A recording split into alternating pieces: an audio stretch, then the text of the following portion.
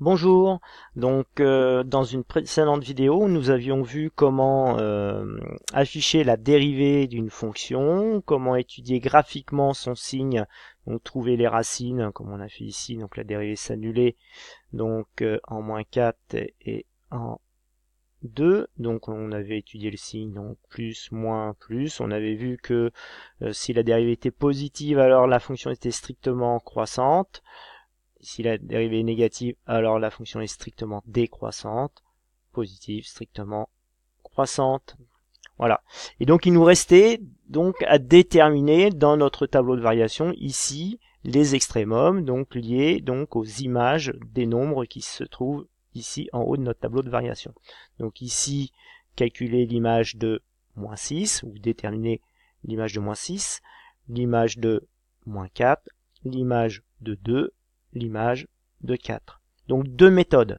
Une méthode graphique et une méthode avec un tableur. Donc on va voir ici les deux méthodes. Donc ici on est, je rappelle, dans le menu graphique, hein, euh, donc dans le menu graphique, entrée, on a affiché donc euh, la courbe et sa dérivée. Ici on n'a plus besoin d'afficher la dérivée, donc ici je la désélectionne en appuyant sur F1. Vous voyez ici le égal n'est plus surligné.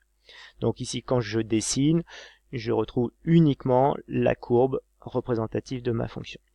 Donc là, il faut faire vraiment attention ici pour trouver ces nombres ici, qui sont les extrémums, c'est bien les variations de f. Donc ici, ce sont les images de x par la fonction f et non pas par sa dérivée. Donc ici, j'ai graphiquement la représentation graphique de ma fonction. Donc je vais tout simplement demander à la calculatrice avec le menu gsolve d'afficher les valeurs de y connaissant les valeurs de x. Donc ici je vais j'étais dans le menu donc gsolve. Ici le petit triangle indique que j'ai un menu qui est plus grand et ici je vais donc appuyer sur y qui est en fait y call, donc on va appeler y, et évidemment on appelle y si on connaît la valeur de x. Donc ici, on appuie, il nous demande quelle est la valeur de x. Ici, je vais commencer par moins 6. Donc ici, attention, opposé de 6.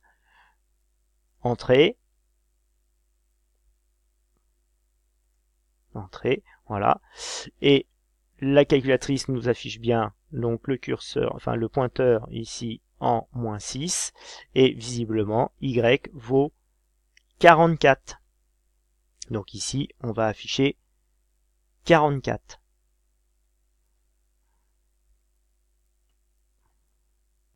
Donc maintenant qu'on a trouvé l'image de moins 6, donc c'est 44, il suffit de trouver maintenant l'image de moins 4. Et on aura un extrémum, c'est-à-dire qu'ici on va trouver le maximum de la fonction sur l'intervalle. Donc ici on recommence, G solve, Y call, et ici, l'opposé de 4. Entrée, et l'opposé de 4 donne comme image 88. Donc ici, pour x égale moins 4, f de x va être égal à 88. On va afficher ici 88. Maintenant qu'on a trouvé l'image de moins 4 qui donne 88, on va chercher l'image de 2. Faites une pause sur la vidéo et essayez de le faire et regardez la correction après. Ça y est, vous avez fait. Alors, ici j'ai solve, y call, ici c'est l'image de 2, donc l'image de 2 vaut moins 20. Donc ici, quand x vaut 2, y vaut moins 20. Ici, on va taper moins 20. Donc l'image de 2, c'est moins 20. Il nous cherche, il nous reste plus qu'à trouver donc l'image de 4. Faites une pause sur la vidéo, recommencez l'opération et revenez à la correction.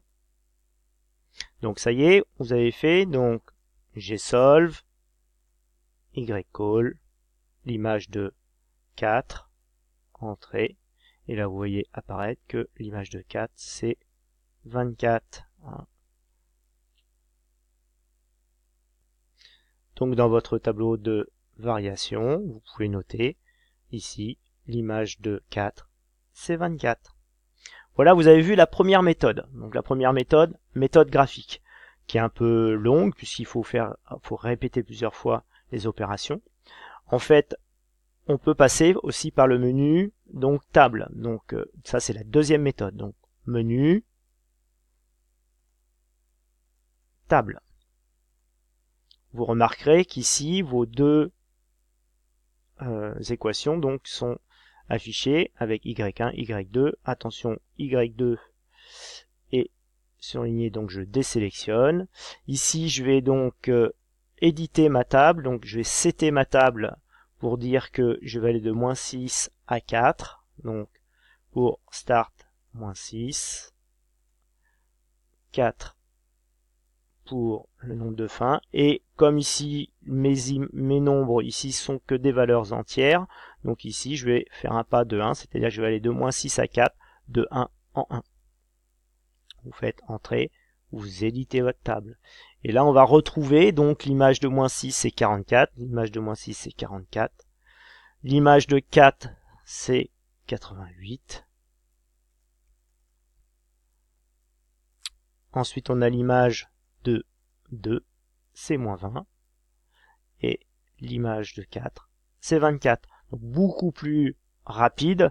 Euh, bon là ça va, on, les images des nombres entiers sont aussi des nombres entiers. Dans certains cas, on aura des valeurs approchées. Donc n'oubliez pas de vous mettre à ce moment-là sur la colonne de y1 et de lire ici la valeur qui vous sera donnée sous la forme fractionnaire par exemple.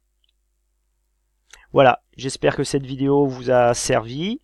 Euh, n'hésitez pas à lâcher des commentaires, éventuellement poser des questions s'il y a des choses que vous ne comprenez pas.